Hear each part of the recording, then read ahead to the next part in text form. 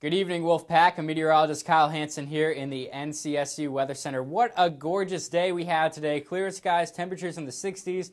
If you look at the satellite, you can see that just no clouds over much of North Carolina, and that's going to continue throughout the rest of the night tonight. If you look at the map, notice we have rain off to our northwest in Minnesota. That's going to head towards the east, but it's going to stay north of us here in Raleigh, so expect clear conditions throughout the rest of the night tonight. Temperatures should drop off around 41 degrees, so it will be chilly.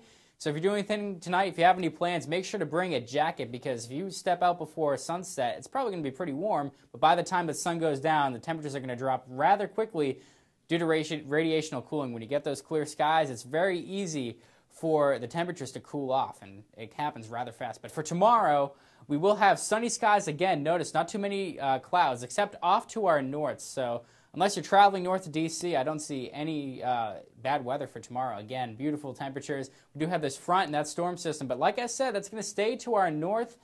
And we might get a few clouds from that on Thursday or Friday, but overall, I think we're going to be pretty sunny the rest of the week. But for tomorrow, sunny skies, gorgeous. Temperatures will be in the upper 60s. If you have any outdoor plans, I recommend you should make some, even if you don't have any, because it's going to be a beautiful day. Winds will be calm out of the east at 3 to 7 miles per hour. So, all in all, a perfect day. I can't think of any of better weather, that's for, for sure. But for tomorrow morning, when you wake up, it will be a bit chilly. Temperatures around 44 degrees, so you're going to want to bring the jacket. But make sure you dress in layers because by the time we get to noon and 3 o'clock, temperatures will be in the 60s.